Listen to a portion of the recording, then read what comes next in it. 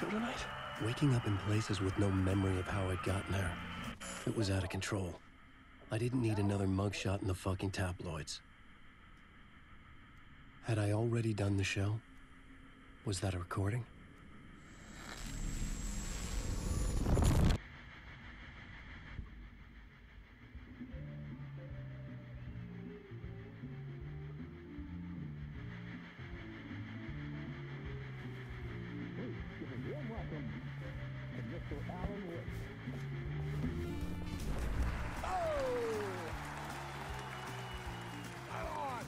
To see you, Alan.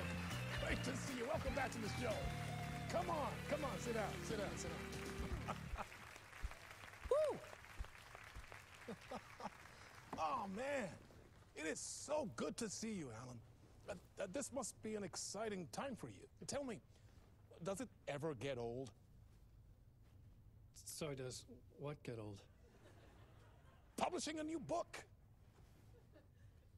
Are you okay there, my friend? You look like you've been cooped up in the writer's room for a few too many years. This is exactly how I feel. You know, I've waited so long to get my hands on the sequel to Departure. You left us on quite the cliffhanger. We've all been dying to know what it's not a lake, it's an ocean really means. You and me both. Well, our wait is over. Your new book, Initiation, hits the shelves tomorrow. What? That's exactly what every reader will be asking. This book is mind bending, it's so cerebral. I mean, how would you describe it? A- an auto fictional thought experiment? A, a- a horror story? A postmodern detective story? Wait. This isn't right. I, I haven't written anything. He's so humble. Okay, you got me. Good prank, very funny. But yeah, I sad to say, I, I I've not written this. I, I'd remember if I'd written a book, right? Or maybe it was written by your evil double. Well played, man. That is spot on. Playing the role here. Pretending the world of the book overlaps our own. That's very meta indeed. You see, Initiation tells the story of a fictional writer named Alan Wake who is trapped in a nightmare, desperately trying to find the manuscript of a novel he has forgotten he has written. The book is set in New York, but it might not be New York at all. He is tormented by his dark doppelganger and guided by visions of a fictional detective he has written. That's right, Alex Casey is in this book as well. I guess we'll just keep doing this the whole show. The joke's on me. Isn't that what you sign up for with autofiction? No, but seriously, I found the the structure of the reality you build in the book fascinating. It reminded me of The Matrix. I mean, the writer is physically in his writer's room, trapped there, and he projects himself out to this dark dream of New York through the story he is writing. Uh, like astral projection. Did I get that right? Yeah, that's exactly right. Go on. I should be taking notes here. This is great stuff. Notes to that other Alan Wake in that room writing this as we speak? Are we all in your story, Alan? wow. No, I, I, I wish you every success with your new book, Alan. I hope it's as successful as your best selling Alex Casey series. Initiation hits the shelves tomorrow. After this, I'm sure we'll all be eagerly awaiting the culmination of this hero's journey trilogy of yours. A book called Return, perhaps. Man, thank you for one of the strangest interviews of my entire career, Alan. All this talk of meta narratives. I'm expecting to disappear once this scene ends.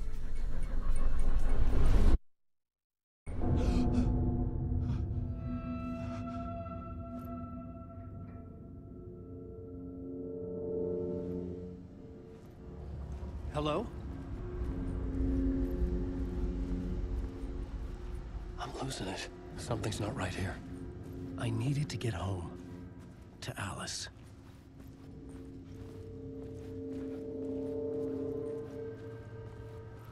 What the hell was that interview? Some kind of joke? Initiation? I never wrote a book called Initiation. This felt like a bad dream. Could make a good horror story.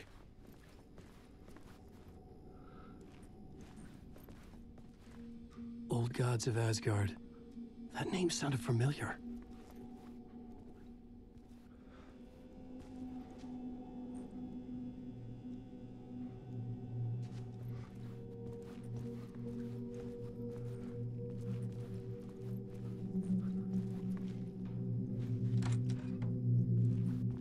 I was a mess.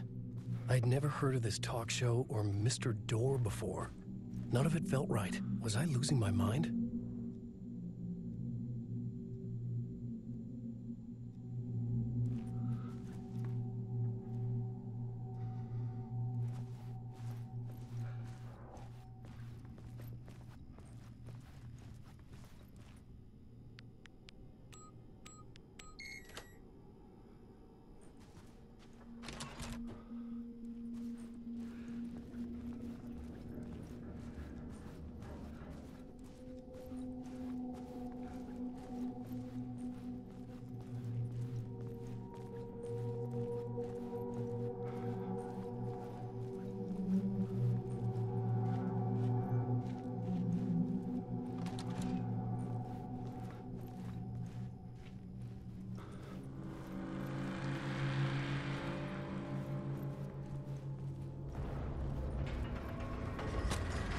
Something in the studio with me.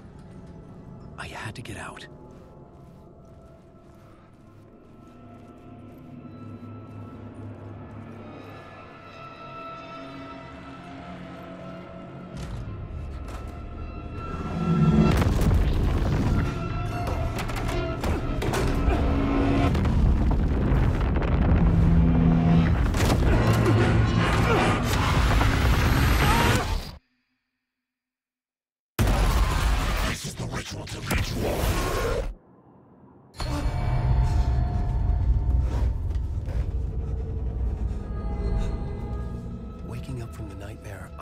Like a drowning man gasping for air.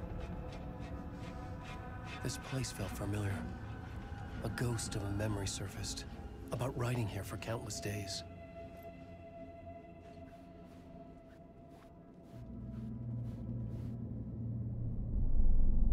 A plot board for mapping out a story. On the index cards, the nightmare that just happened to me. A summary of the story so far but other notes as well. Warnings. I had written them. I couldn't remember what it all meant. The name Scratch filled me with dread. I could trust these words. I had to act on them. You must write to escape.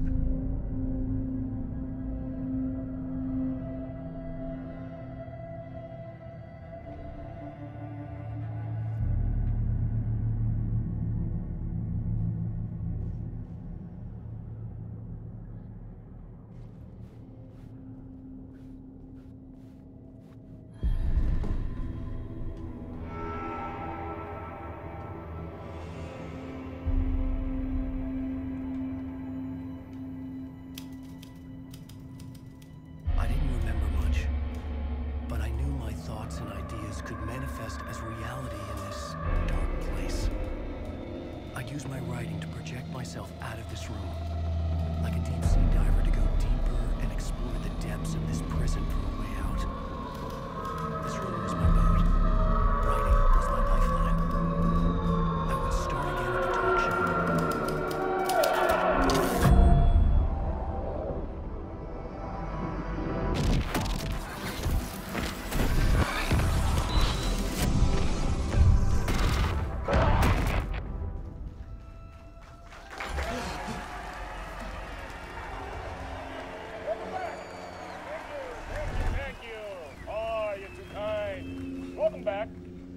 we have a great show for you here tonight.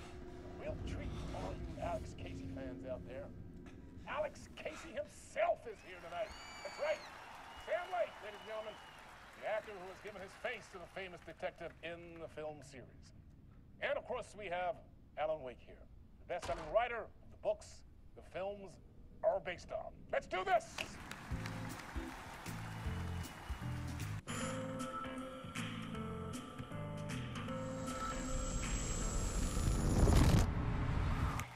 Welcome back to the show. Uh, So, Alan, as the uh, creator of the character, how do you feel about this? Sorry, what? I- I know it can be an awkward question with the man sitting right next to you, but I mean, how do you feel about him in the role of Casey? Does he look the part to you?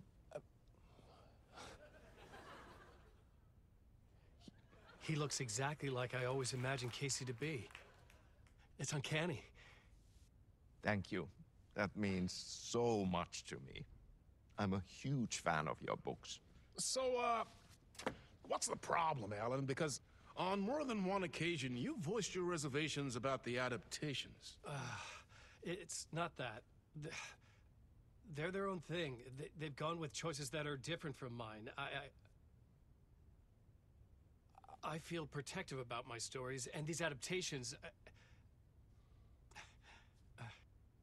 I don't know. I, I guess I just wish I could have been more involved in making them. Well, in that case, you won't have seen this either. We have a clip from the new film, Murder Case Casey. Should we roll it, or do you want to say something first, Sam?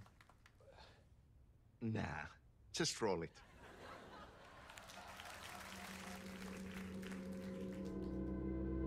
This city was an old scar that refused to heal.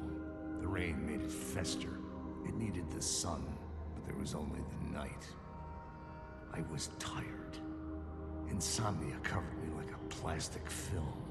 I was watching the world through a rain-slick window, my own reflection haunting the view. I was trying to track down a missing writer. My only clue was a table lamp shaped like an angel, the only thing to shed light on this sordid mystery.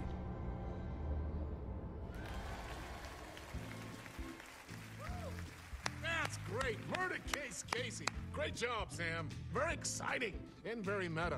I'm looking forward to seeing more. Wait, stop. What was that about a writer? About a lamp?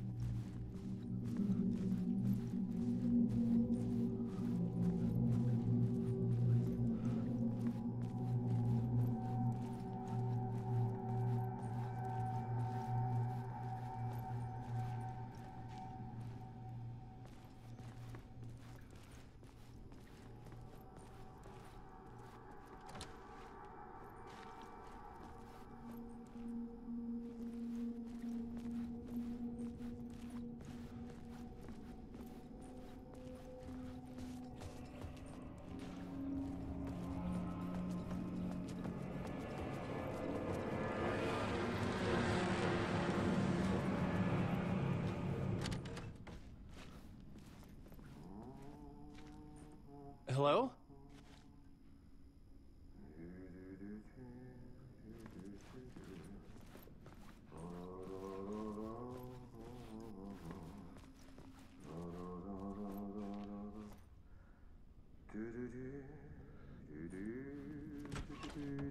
Ah, Lorraine! There you are, Tom.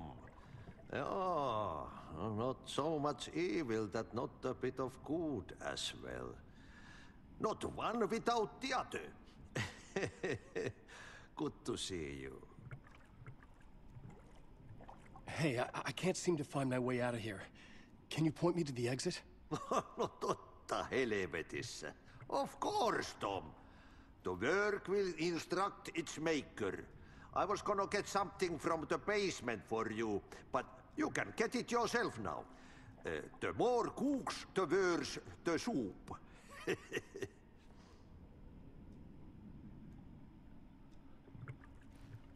Have we met before? Are you trapped in the dark place too? You remember Ahti, the janitor. You can't be lost if you don't worry about where you are headed. So don't worry, Tom. The sun will shine even into a heap of twigs. Just remember to turn on the lights. It won't take long when you get to work. What do you want me to get from the basement?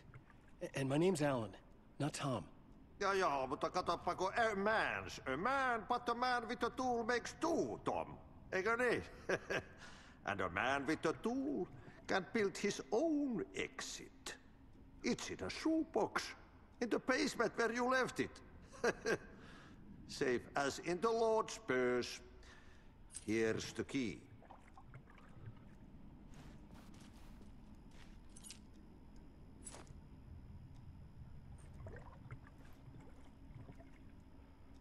I've been trying to find a way to escape the dark place. Any suggestions? He who mouths about his troubles is the prisoner of his troubles. It's not easy to get out. But don't you worry, Tom. The home is still there where the heart is. I often think about it when I mop the floor and look into the puddle. Water is the memory of the world. Water finds its way. The janitor was a bit out there, but still a friendly face. I had to trust the basement would get me out of here. Ah, oh.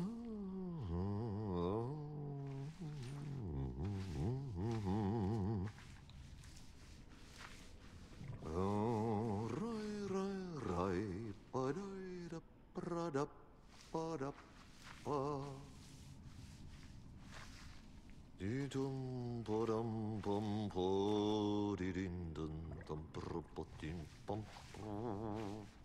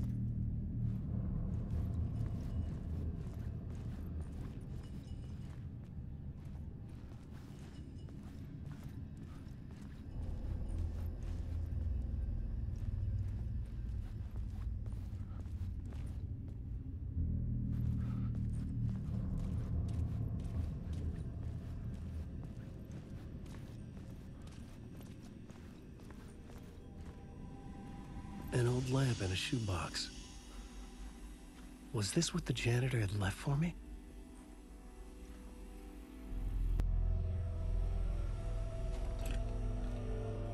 The lamp felt significant.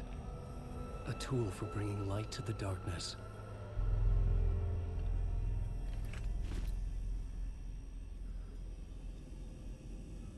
I felt a magnetic pull between the lamp and the light overhead.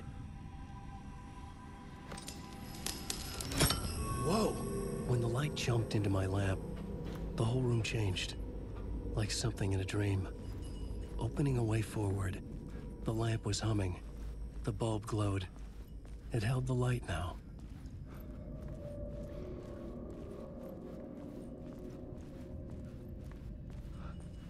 I felt another surge from the lamp. I could use it again. The glow in the lamp went out, shifting the light in the room. The light carved out something new from the darkness.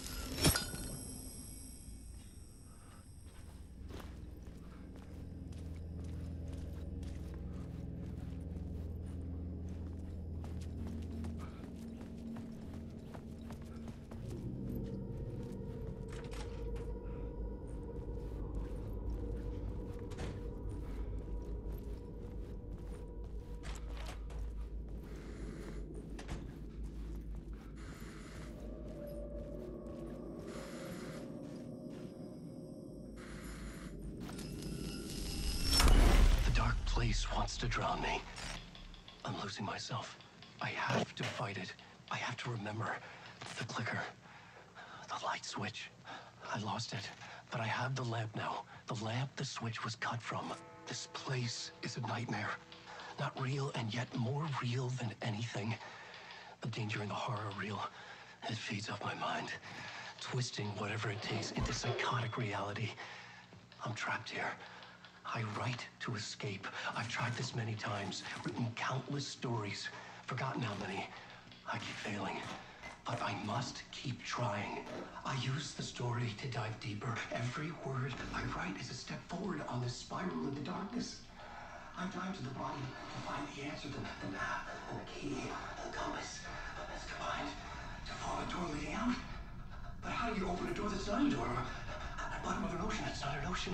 And a lake that's not like...